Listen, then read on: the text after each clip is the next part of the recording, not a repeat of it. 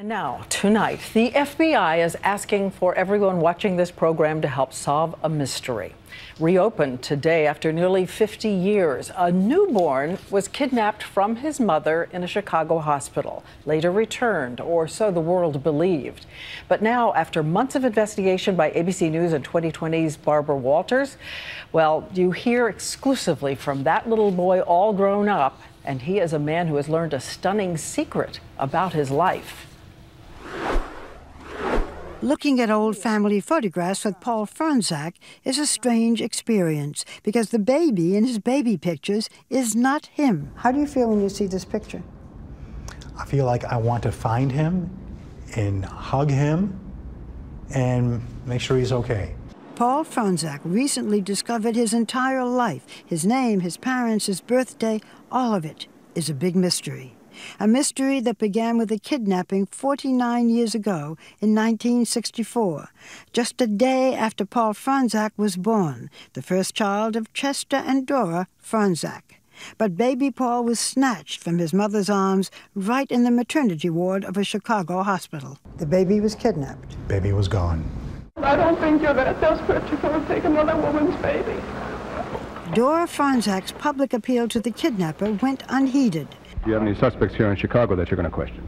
We are uh, questioning suspects uh, throughout the day.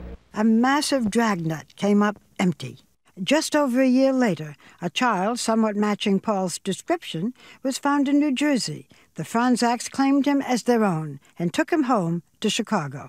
Now an adult, Paul works for a college in Nevada. He's married and has a child of his own. A normal life until a year ago when a DNA test showed he is not the Fronczak's child after all. What are you trying to accomplish? My main goal for this whole project is to find the real Paul. My parents raised me and they did a great job. And I feel that if I don't do everything I can to help find the real child, then I'm not doing my job as a son.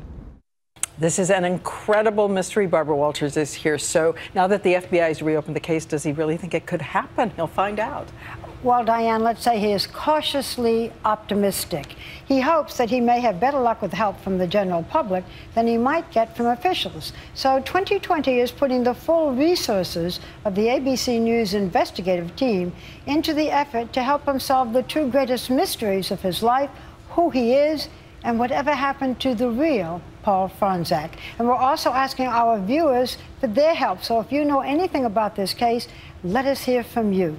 There are answers out there somewhere. Thank you so much, Barbara. If you have any tips, again, please go to our website, abcnews.com slash 2020.